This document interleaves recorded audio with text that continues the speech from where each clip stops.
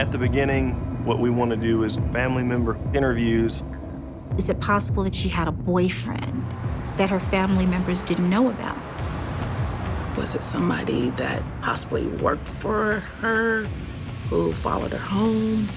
Who would hurt her?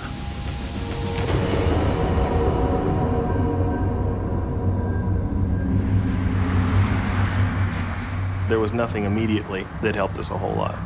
It was really kind of difficult to formulate a theory. This was, you know, a burglary gone bad, we didn't know.